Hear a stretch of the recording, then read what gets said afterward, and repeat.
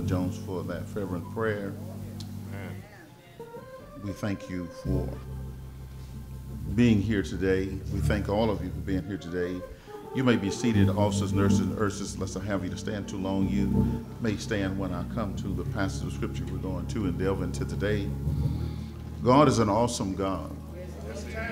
And the good thing is that he still reigns. He still sits on his throne. And uh, we have to give him all the glory and all the praise due his holy name. Working with this passage um, today that I'm going to deliver into your hearing or attempt to deliver into your hearing um, because this religion thing is a practice thing. Uh, we don't never really get it all together and we'll never get it all together. Um, someone saying the other day said I read a scripture and I read it three times and each time I got a different idea. I said that's what that's what the Holy Spirit will do to you, is that um, you know do uh, you good because if you keep reading it, He'll eventually give you what you need. Amen. And so when I was um, well, I wasn't growing up, but the thing about it is I remember that uh, a time about this time of year, all the kids that were uh, preteens and teenagers were in a uproar about Transformers. Uh, these were little little toys that uh, they looked like a car.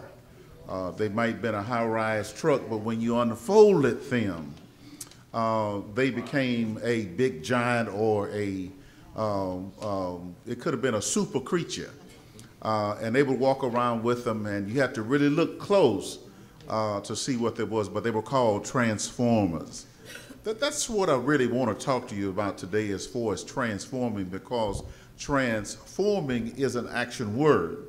And so if you're going to transform, that means you start here and you end up looking a little differently when you first came. Now, we'll pick up on that a little bit later. Christians transforming, there ought to be a difference down the road. From the first time that you met Jesus Christ to right now, there ought to be a great transition, even on our thought, and guess what? Even in our duty.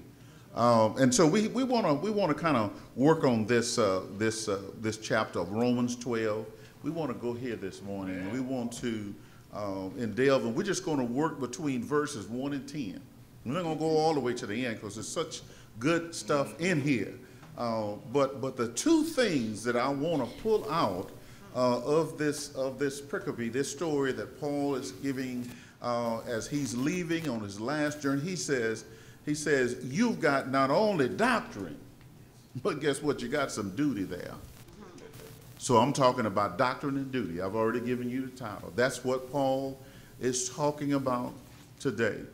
And so signify by saying amen when you reach that passage of scripture. Amen. All right, it reads on this wise. I beseech you, therefore, brethren, by the mercies of God, that you present your bodies as a living sacrifice, holy, acceptable unto God, which is your reasonable service. And be not conformed to this world, but be you transformed by the renewing of your mind, that you may prove that is that good, what is that good and acceptable and perfect will of God. For I say, though, the grace given unto me, to every man that is among you, not to think of himself more highly than he ought to think, right, right. but to think soberly according as God has dealt to every man the measure of his faith. For as we have many members in one body, and all members have not the same office, so we being many are one body in Christ, and every one members of another, having the gifts of differing according to the grace that is given to us. Whether prophecy, let us prophesy according to proportion of faith. Our ministry, let us wait on our ministry. Or he that teacheth on teaching. Or he that exhorteth on exhortation. He that giveth, let him do it with simplicity. He that ruleth with diligence, he that showeth mercy with cheerfulness. Let love be without dissimulation. That's, that's without hypocrisy. Abhor that which is evil, cleave to that which is good. Verse 10 says, Be kindly affectionate one to another with brotherly love, in honor, preferring one another. I'd like to talk to you from this thought. It's just our doctrine, it's just our duty. It's our doctrine, it's our duty.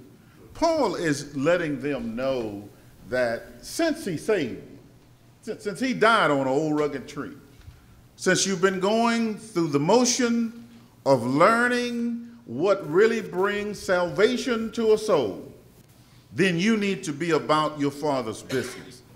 He, he, he says, he says, rather than just hear the word, um, the, you need to actually act upon the word. Now, here, this is where the transformation comes in.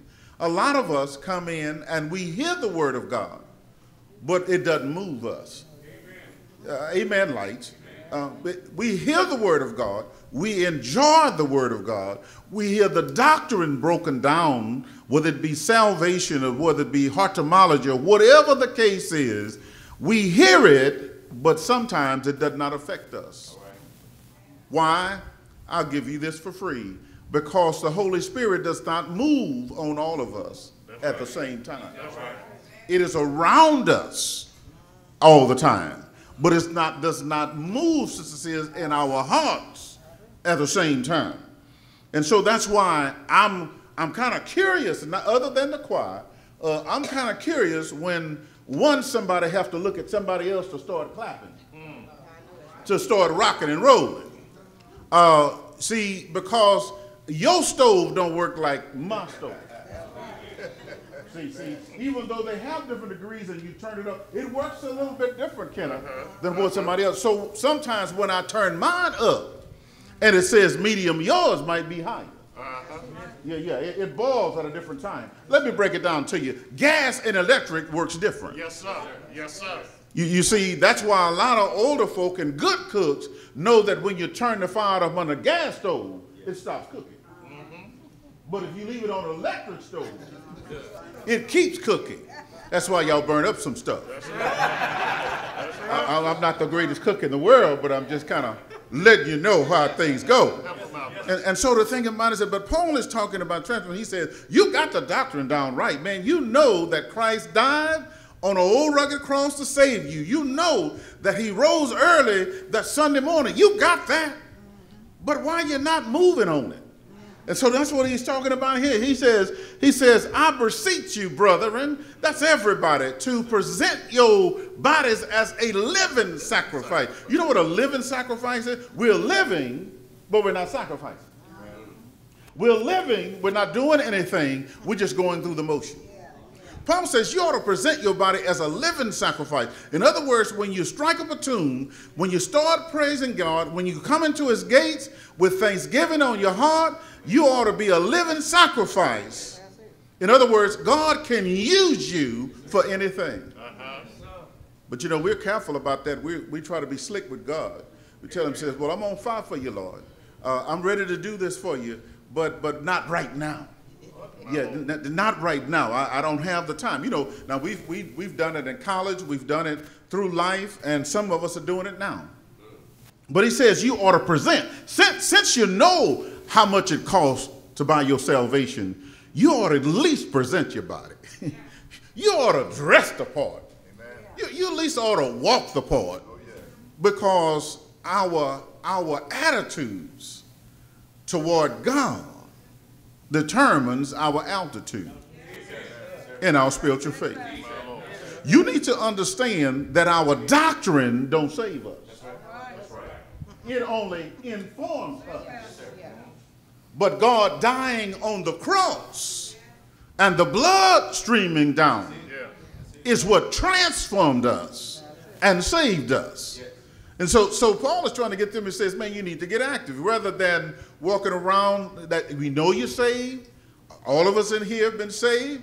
He said, but you ought to have some works, not, not to become saved, but you ought to work because you are saved. Yeah, yeah. You, you, you, you, ought to, you ought to be willing to do something on God's program. He says, so he says, by the mercies of God, God is the one that created this thing. You see, if, if you got the doctrine right, I might know that all it takes is confession by mouth to say that I believe in Jesus Christ and that I'm saved. I got the doctrine down. Yeah, yeah. But what am I going to act like? When folk see me, am I acting like I know that I know that I've been saved? Do I really know what that doctrine is all about?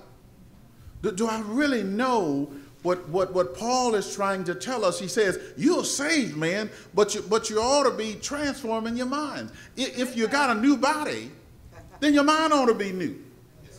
Yeah, it ought to be new because you got a new walk, you got a new talk. I, I was listening, and he's one of my favorite singers. Uh, I know Brother Willie get him all the time, but John P. Kee got a he has a message in his music. Amen. And, and he was saying that he was strung out on cocaine.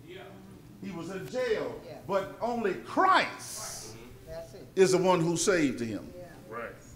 He, he made, he made a, a acknowledgement of the doctrine that Jesus died for him.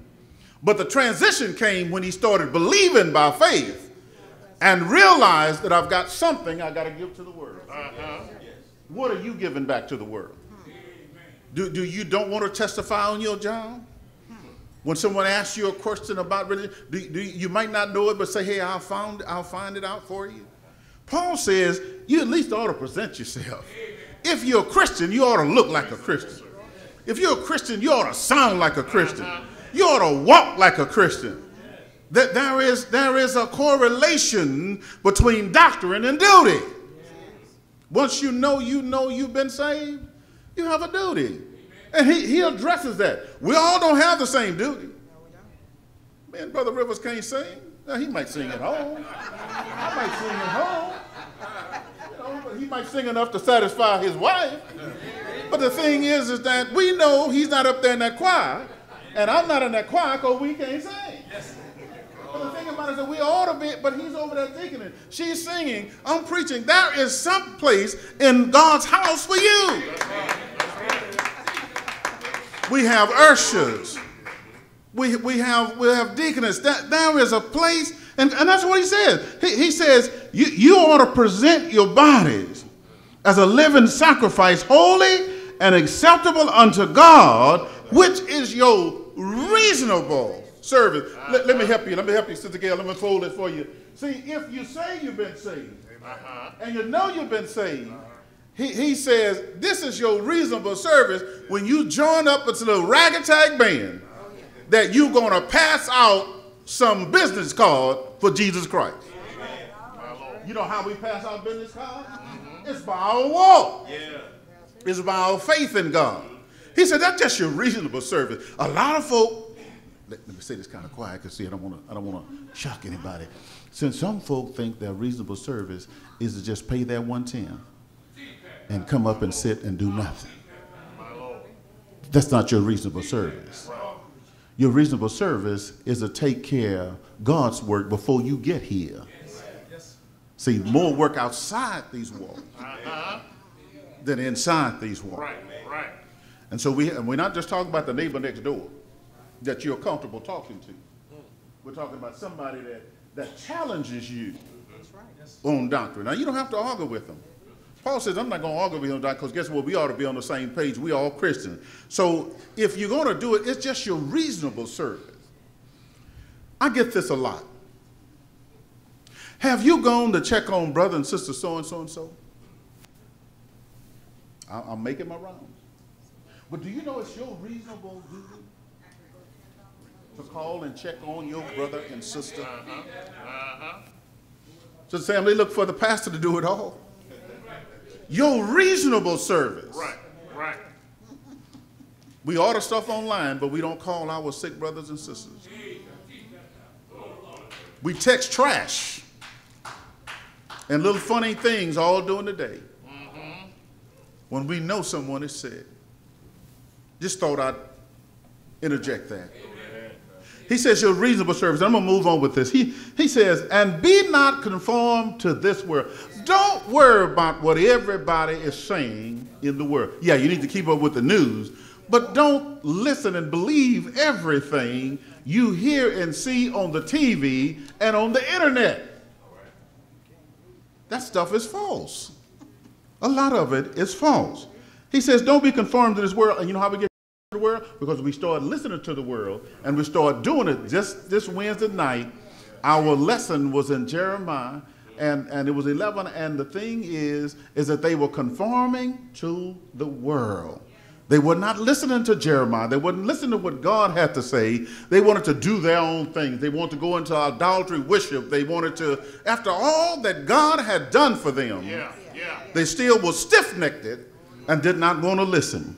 And so he says, he says that you need to renew your mind. Renew your mind. You know how we renew our mind? We think about God.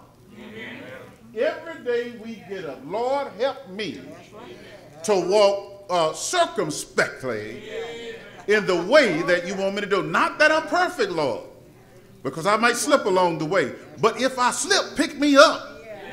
But I think a lot of our problem is that we go to God. If it don't rock our boat, we're not worried about it. But guess what? What happens to others can happen to us. And so we need to be strong in the Lord. So he says, don't be conformed to this world. Uh-huh. Child, you ought to do this. Stop listening to folk who don't go to church. Stop listening to folk who don't know Jesus Christ. Stop listening to folk who, who well, I ain't gonna go down that road, but but stop listening to folk who ain't got no man.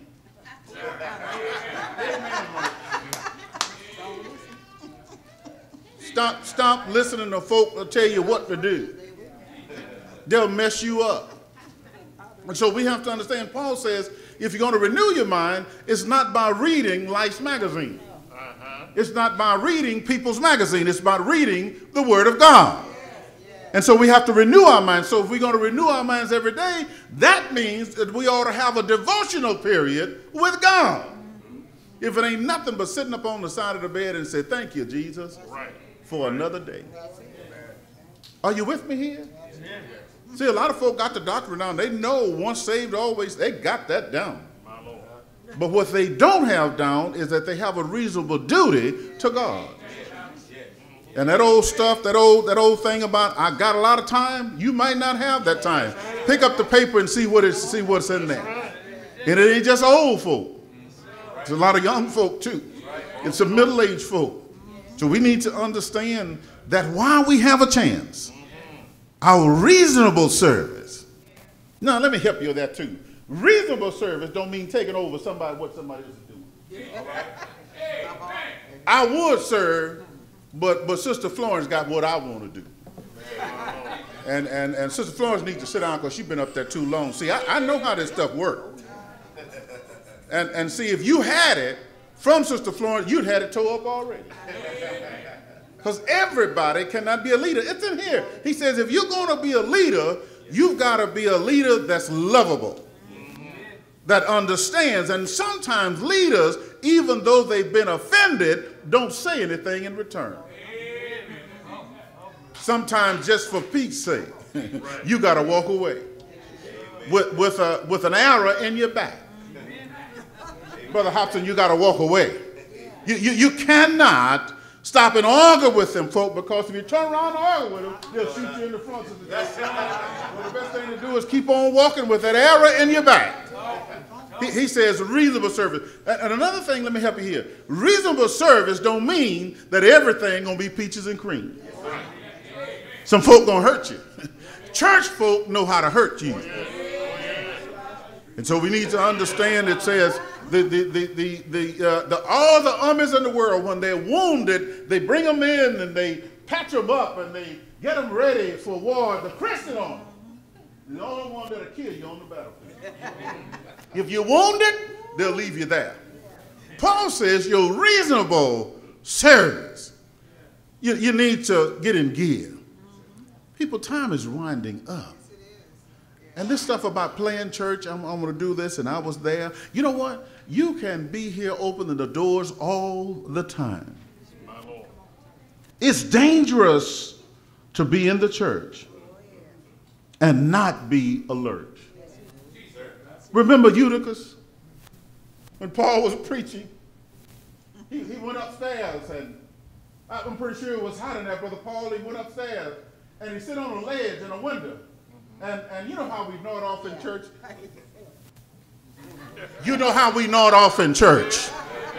You act like I'm talking to myself.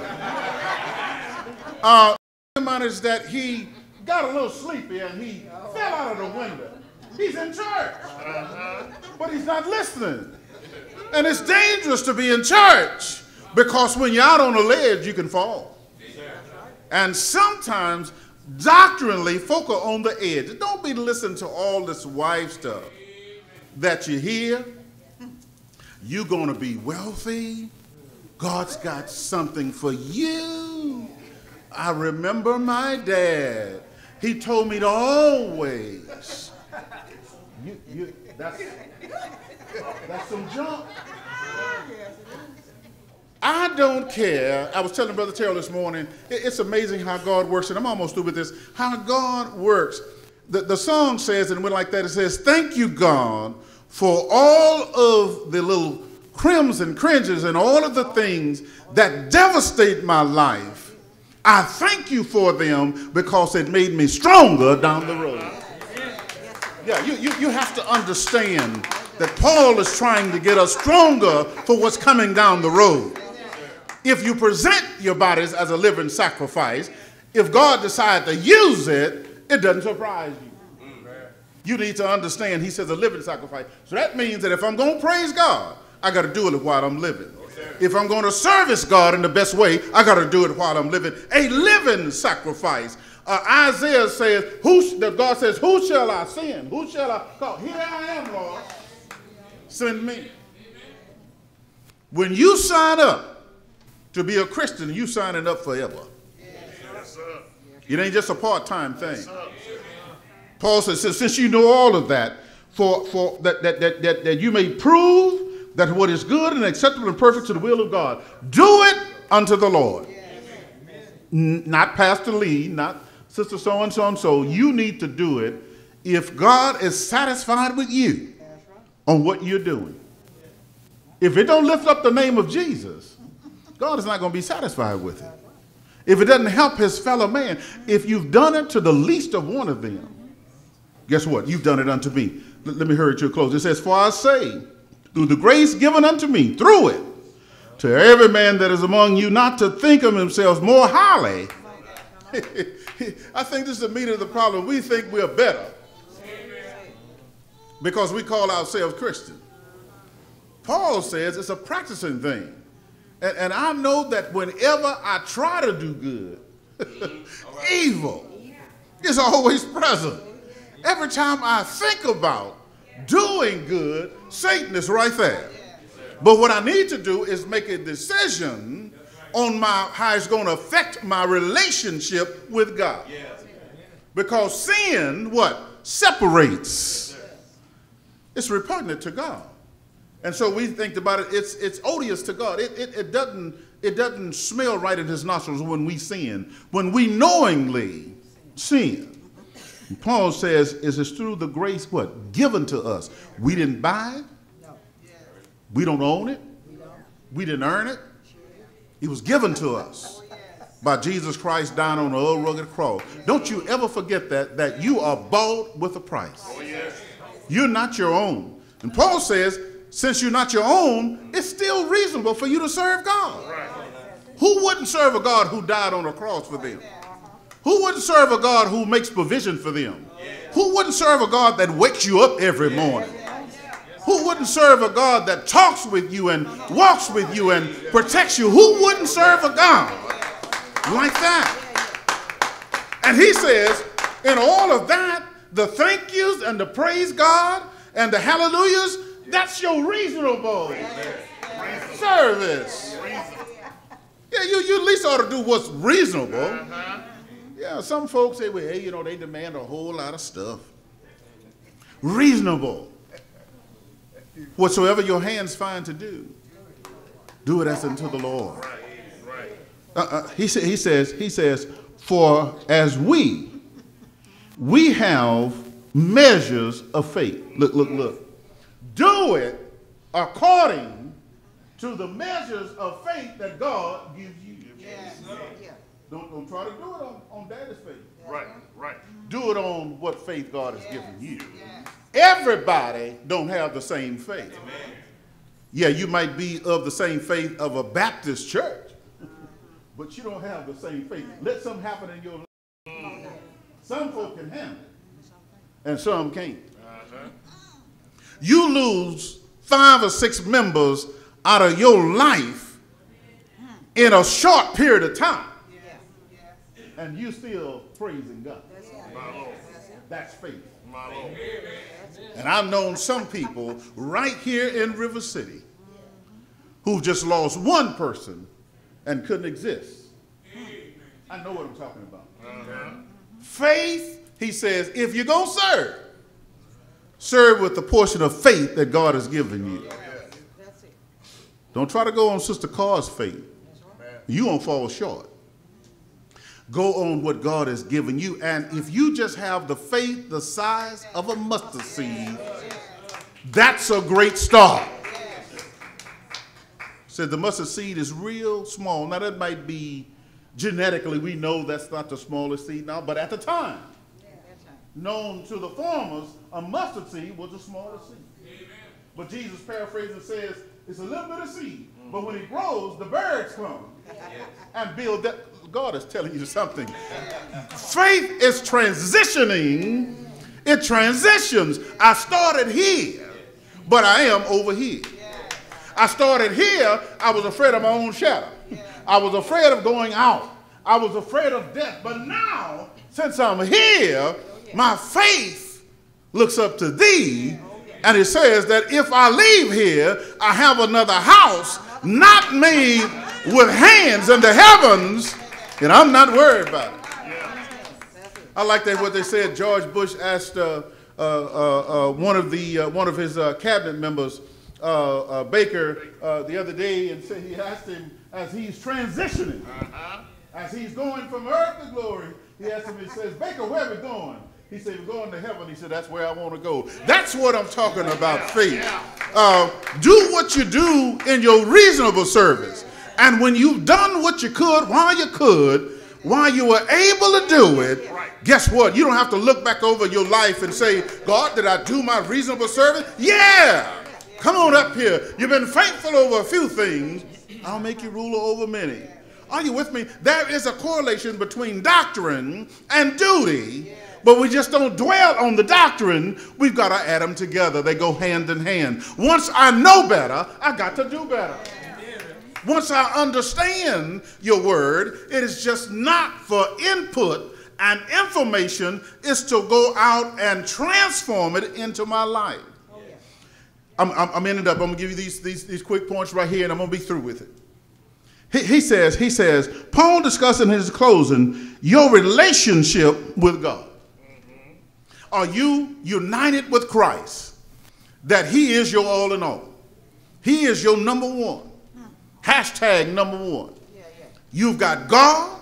This, this is how you got it. He says, you, you, you've got God, you've got others, you got yourself, and then you got duty. Which one are you leaving out? All of it is our reasonable service. And so we need to understand, Paul says, your relationship with God determines what you're going to think and what you're going to do. If you don't have a close relationship with God, you're not going to work for Him. If you don't love God, you're not going to work for Him. Right. And so the thing about it says, how is your Paul says, your number one, your relationship ought to be right with Christ. And if your relationship is right, and you look, Sister Susan, at what he's done for you, you can't help but want to do something for him. And all he asks for us to do is be his arms and his legs. That we service other folk. That we love our brothers. Be kind to one another.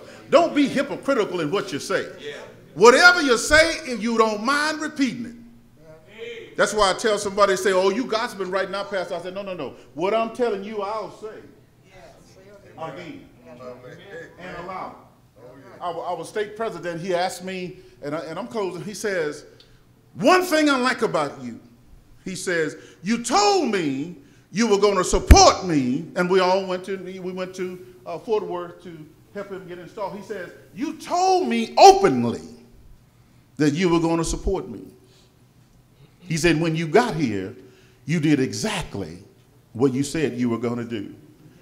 And he says, not only that, you sent a letter ahead stating what you're going to do. You know why he's mentioning that? Because a lot of them that said they were going to vote for him turned their back on him at the last hour.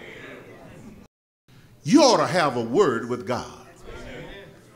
your service and your relationship ought to go hand in hand. You go, you got to watch them folk. I love the Lord. I, I heard his cry. I pitied every moan and go out there and curse you out. the next day. I ain't been on this battlefield a long time, but I've been on here long enough to know how it works.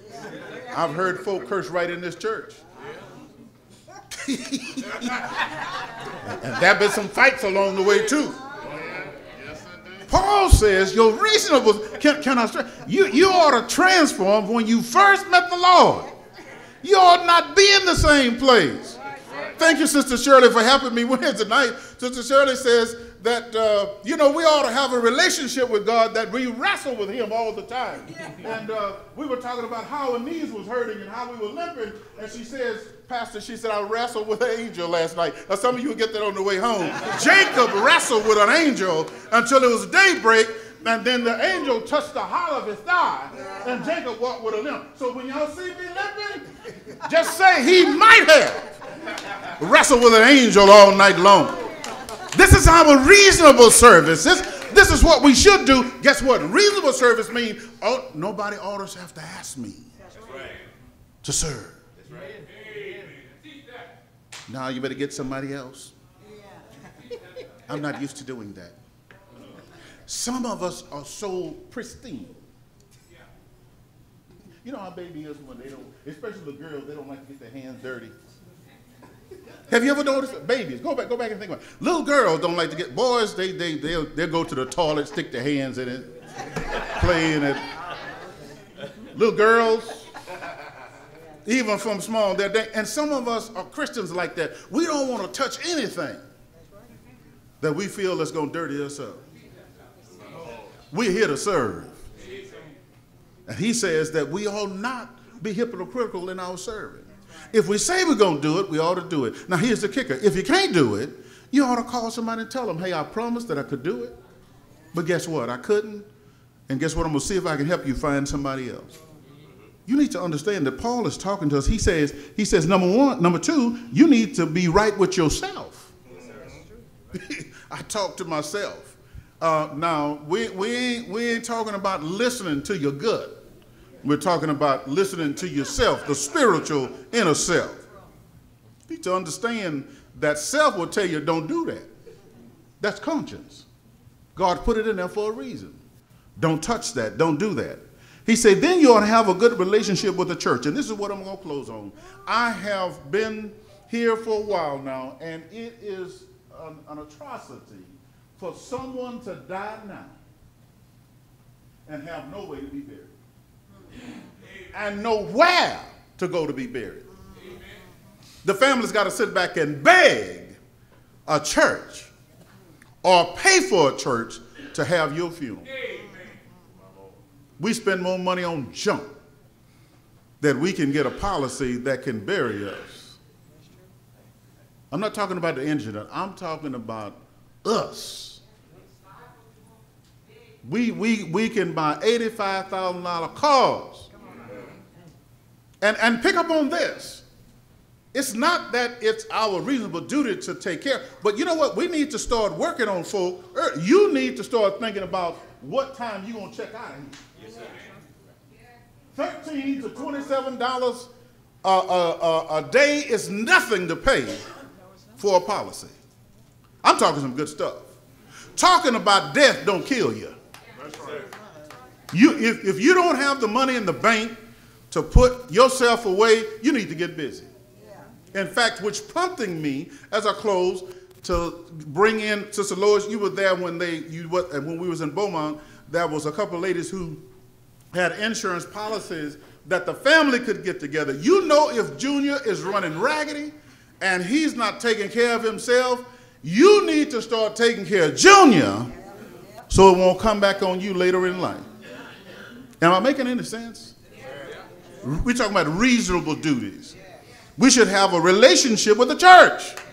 You ought to have a church you can call a church on. Don't be coming back in here 20 years talking about, uh, yeah, I'm still a member of Bells. And that has happened.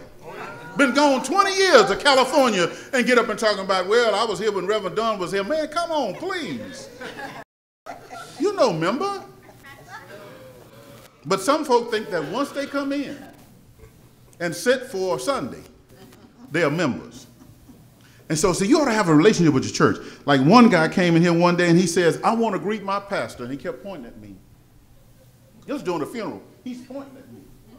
My pastor. And they said, Is my Pastor Lee? And after church, they asked me, say, when was he here? I say back in 66, 67. but he still think he's a member here. Come on, people. Paul says you ought to have a relationship with your church, not a bad relationship. Because you don't want somebody to look down the road, Brother Carr, and say, uh-oh, here he come.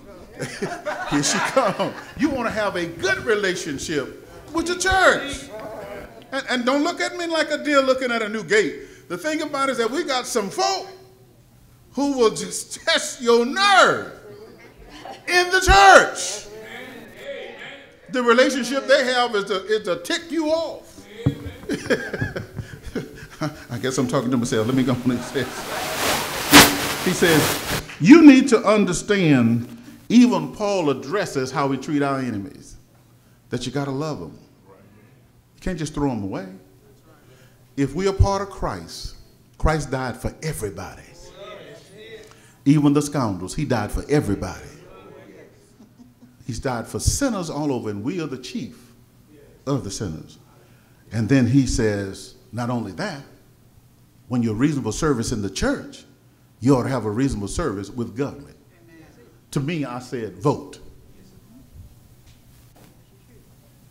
That's how we can participate in the government. Yeah. Electing folk who are looking out for you and me. And who's not trying to take your health care away. And who's not trying to say ketchup is a food. Hallelujah, somebody. Yeah. That, that applesauce is a choice of vegetable. You, you, you can't study on, you, you try to eat an applesauce and, and, and catch up and stuff and try to go and work on a job, you'll fall out.